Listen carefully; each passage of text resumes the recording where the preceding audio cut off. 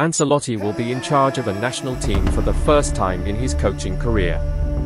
Carlo Ancelotti has been appointed the new head coach of Brazil's national team, but not for another year, the Brazilian Football Confederation announced Tuesday night. He will first finish his contract with Real Madrid and join the Selecao in June 2024 for the Copa America. Ancelotti, 64, will be in charge of a national team for the first time in his coaching career, replacing Tite, who left the position after a quarter-finals defeat to Croatia at the 2022 FIFA World Cup in Qatar. For now, Fluminense head coach Diniz will be in charge, taking over Brazil's U-20 manager Ramon Menezes, who lost two out of three friendly matches earlier this year as interim coach of the senior squad. Diniz, 49, will keep his job at Fluminense and join Brazil only for the World Cup qualifiers. Ancelotti will then take over for the 2024 Copa America and 2026 FIFA World Cup.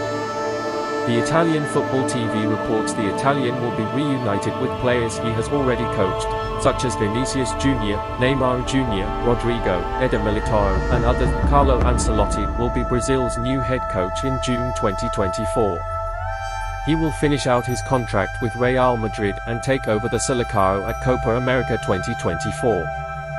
Ednaldo Rodrigues, president of the Brazilian Confederation, has confirmed the reports.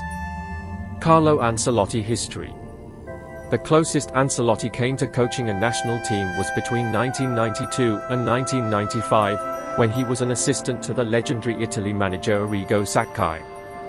Ancelotti was coming off an incredible career as an AC Milan player when he began his coaching cycle in charge of clubs such as the Red and Blacks, Real Madrid, Chelsea FC, Paris Saint-Germain, and more.